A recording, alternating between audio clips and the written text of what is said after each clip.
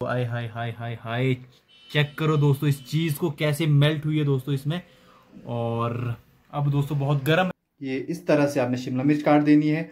और हमने यहाँ पे लिया है पनीर। ये भी बहुत ताज़ा पनीर है। और तो इसके बाद क्या करना है आप सभी को? जो ये हमने अमूल चीज़ ली है, ये देख सकते हो आप, अमूल की चीज़ है। और बहुत टेस्टी परांठा बनता है यार। जब भी आप इस परांठे को खाओगे तो भाई, आप एक बार इसको ट्राई करके तो देखो। उसके बाद बस मेरा नाम लोगे। और दोस्तों इस slice so hello my beautiful family कैसे आप सभी? आप सभी के लिए मैं एक मज़ेदार सी रेसिपी ले आया हूँ। ब्रेकफास्ट तो आप सभी करते हो यार, और ब्रेकफास्ट में आप मैक्सिमम पराठा खाते हो तो पराठा खा खा कर अगर थक गए हो, वही आलू वाला पराठा, प्याज वाला पराठा तो आपके लिए एक यूनिक सा पराठा लेके आया हूँ आज।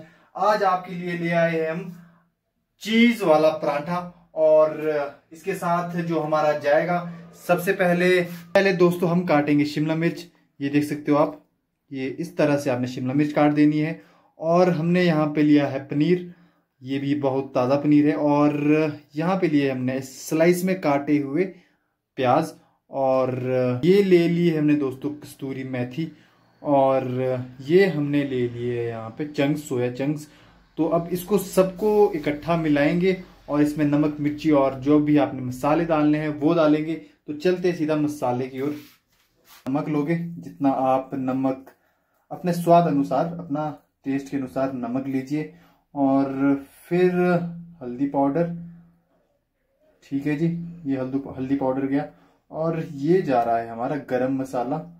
और गरम मसाला गया जी। और ये चल गई हमारी देगी मिर्च। और थोड़ा स्पाइसी बनाएँगे दोस्तों, और ये देख सकते हो, ये सब चला गया है इसमें। दोस्तों, अब इसको हम मिक्स करेंगे इस तरह से, और सभी मसालों को आपस में मिला देंगे। आप देख सकते हो, इसमें पनीर है, अपना ये प्याज है, शिमला मिर्च है, और कस्तूरी मेथी है, और ये अच्छे से दोस्तों मिक्स हो गया अब हमने यहाँ पर ये दोस्तों हमारा डो है और डो हमने पहले से ही आटा वगैरह गूंद लिया था और ये हमारा आटा है यहाँ पे। अब इसमें जल्दी से स्टफिंग करते हैं और बताते हैं आपको आगे का प्रोसीजर तो दोस्तों ये हमारा आटे का पेड़ा बन गया है और थोड़ा सा यहाँ पे आटा लेते हैं। ये देख सकते हो आप। ये दोस्तों हमारा आटे का पेड़े को हम ऐसे बढ़िया गोल गोल करेंगे ताकि इसमें अच्छे से स्टफिंग आ सके अंदर और कुछ इस तरह से आपको ये गोल गोल करना है। मैं हमेशा से इसको थोड़ा बड़ा करता हूँ ताकि अच्छे से इसके अंदर स्टफिंग आ जाए। ये देख सकते हो आप, बढ़िया स्टफिंग आ गई है इसके अंदर। तो दोस्तों, यहाँ पे स्टफिंग अच्छे से हम इसमें डालेंगे अंदर, इसके अंदर। तो ये जो भी हमारी स्टफिंग है, इसके अंदर डाल दो आप। और काफ़ी लोडेड परांठा बनने वाला है दोस्तों। और सुबह जब भी आप इस परांठे को खाओगे तो लंच तक आपको कोई भूख नहीं लगने वाली है बिकॉज़ ये काफ़ी लोडेड परांठा होने वाला है। और दोस्तों, इसको हम यहाँ पे रखेंगे। और तो दोस्तों, इसके बाद क्या करना है आप सभी को? जो ये हमने अमूल चीज़ ली है, ये देख सकते हो आप, अमूल की चीज़ है और बहुत टेस्टी परांठा बनता है। यार जब भी आप इस परांठे को खाओगे तो भाई, आप एक बार इसको ट्राई करके तो देखो, उसके बाद बस मेरा नाम लोगे।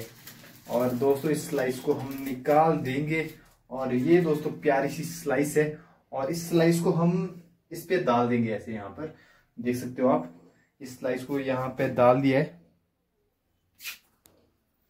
तो दोस्तों स्लाइस यहाँ पे आ गई है और अब हमें परांठे को बंद करना है। ये भी दोस्तों टास्क होता है क्योंकि स्टफिंग बाहर नहीं निकलनी चाहिए आपकी। तो इसको इस तरह से आप गोल गोल करके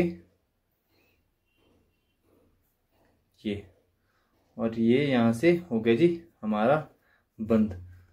और ये यहाँ पे हमने ऐसे लॉक कर दिया। और अब इसको पेड़े को गोल गोल करेंगे दोस्तों। अब बारी आती है दोस्तों बेलने की। और यहाँ पे आप ऐसे आटा फैला दीजिए और इसको यहाँ पे बढ़िया ऐसे गोल गोल कीजिए और इसके बाद यहाँ पे हम इसको बेलेंगे। और उसके बाद हमने तवा गर्म करने के लिए लगा दिया है और अब इसको बेल के बताते हैं और आपको बताते हैं कि कैसे बनेगा हमारा पराठा। हम बेल रहे हैं इसको और काफ़ी ओवर लोडेड बन गया है दोस्तों। और ये देख सकते हो आप पराठा हमारा काफ़ी बहुत ही टेस्टी दिख रहा है अभी से। हमने यहाँ पे पराठा बेल दिया है, ये देख सकते हो आप, ये पराठा बेल दिया है। और अब डालेंगे हम सीधा इसको तवे पे। और तवा भी दोस्तों हमारा पूरी तरह से गर्म हो गया है। और साथ में बनाएँगे दोस्तों हम घी के साथ। इसमें हम रिफाइंड ऑयल या फिर दूसरा कोई ऑयल यूज़ नहीं करेंगे। बढ़िया घर का देसी घी के साथ दोस्तों परांठा बनेगा। और ये देख सकते हो आप, परांठा काफ़ी बड़ा बन गया तवे के अंदर भी नहीं आ रहा है दोस्तों। मुझे तो अब लग रहा है कि ढाबा खोलना पड़ेगा, जिस तरह के मैं परांठे बना रहा हूँ। अब दोस्तों इसको आहिस्ता आहिस्ता सेकते हैं परांठे को। सो so गाइज़ हमारा परांठा देख सकते हो आप हाफ़ डन हो गया है। जब आपका परांठा इतना सिक जाए तो उसके बाद आप यहाँ पे यूज़ करेंगे अपने देसी घी का। ये देख सकते हो आप, क्या दानेदार घी है यार। चेक चेक करो इस घी को। और दोस्तों, ये लग रहा है दोस्तों, देसी घी का लेप परांठे पे क्या स्वाद आने वाला है दोस्तों। हाय हाय हाय, वाह जी वाह वाह वाह। दोस्तों, हमने इतना डाल दिया घी यहाँ पर। और अब इसको यहाँ पे पलटी करेंगे हम। अब देखना दोस्तों, कितना घी निकलेगा नीचे। ये देखो आप चेक करो कितना देसी घी के साथ परांठा बन रहा है यहाँ पर। और ये यहाँ पे यहाँ पे हमने पलटा दे दिया है। और अब यहाँ पे भी दोस्तों, इतना ही देसी घी लगाएँगे। और ये जी, ये चेक करो दोस्तों। तो दोस्तों, हमारा परांठा तो बन जाता है बट हमारी जो साइडें होती है ना दोस्तों, वो कच्ची रह जाती है। तो आप इस पर ऐसे घी के साथ इसको ऐसे सेके, और साइडें भी दोस्तों ज़रूर पकाए अपने परांठे की। तभी आपका परफेक्ट परांठा बनेगा बिकॉज़ हमारी साइडें कच्ची रह जाती है और बीच में से परांठा हमारा बन जाता है। तो दोस्तों इस तरह से साइडें पूरी तरह से सेक कर परांठा बनाए। चलो चलिए वीडियो तो दोस्तों फाइनली हमारा परांठा बनके तैयार हो चुका है। ये देख सकते हो आप परांठा बनके दोस्तों तैयार हो गए जरा करीब आइए और आपको परांठे के दर्शन कराते हैं। और ये दोस्तों हमारा परांठा बनके तैयार हो गया है। और इस तरह से दोस्तों कुछ परांठा बनाए। तो दोस्तों, हम आपको दिखाते हैं। और मैं जब भी दोस्तों परांठा खाता हूँ तो दोस्तों सॉस के साथ परांठा खाता हूँ। और दोस्तों, यहाँ पे देख सकते हो, गाढ़ी सी दही है। और खुशबुएदार परांठे को दोस्तों खोलते हैं। ये देखो दोस्तों आय हाय हाय हाय हाय। चेक करो दोस्तों, इस चीज़ को कैसे मेल्ट हुई है दोस्तों इसमें। और अब दोस्तों, बहुत गर्म है दोस्तों परांठा। और अब खाते तो दोस्तों, अब परांठे को टेस्ट करते हैं और जायका आपको बताते हैं क्या जायका रहने वाला है। दोस्तों, जो चीज़ भर भर के आई है ना दोस्तों, इसमें यार, वाह जी वाह। आय हाय हाय, मुझसे दोस्तों रुका ही नहीं जा रहा है। और परांठा भी दोस्तों इतना गर्म है कि मैं बस, अगर खाऊँगा तो दोस्तों पक्का मुँह जल जाएगा। ये दोस्तों खुशबुएँ चेक करो दोस्तों परांठे की। और थोड़ा इसको ठंडा करते हैं। और आपको जायका बताते हैं कि आपको टेस्ट कैसा रहता है, आपको घर पे बनाना चाहिए, नहीं बनाना चाहिए। थोड़ा सा दोस्तों इसमें सॉस लेंगे। और दोस्तों, यहाँ पे थोड़ी सी दही लेंगे। दही डालेंगे दोस्तों कुछ इस तरह से। और दोस्तों इसमें जो जायका आने वाला है, चीज़ का अलग जायका आने वाला है दोस्तों, और घी का, जो देसी घी का जायका होता है दोस्तों, वो अलग आने वाला है। तो दोस्तों बढ़िया सी बाइट बना दी हमने दही के साथ।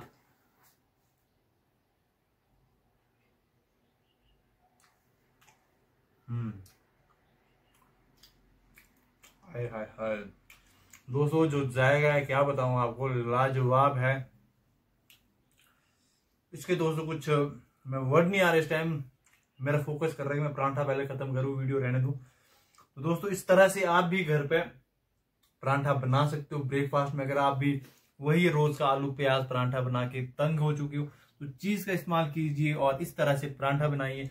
और वीडियो अच्छी लगी हो तो लाइक कीजिए, अपने दोस्तों के साथ शेयर कीजिए। जय हिंद, जय भारत। बाय थोड़ी।